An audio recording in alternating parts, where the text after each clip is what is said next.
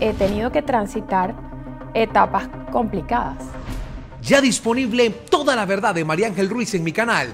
Pocas veces se muestra lo que no está bien.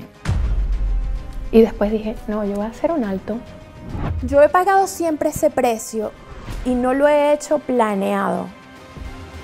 Esta noche a las 7, un emotivo homenaje a José Bermúdez.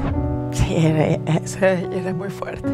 Querer estar con su hijo y no poder atenderlo, ¿no? Cuando yo sabía que eso era lo que más ella quería hacer. Y ella me hizo varias peticiones.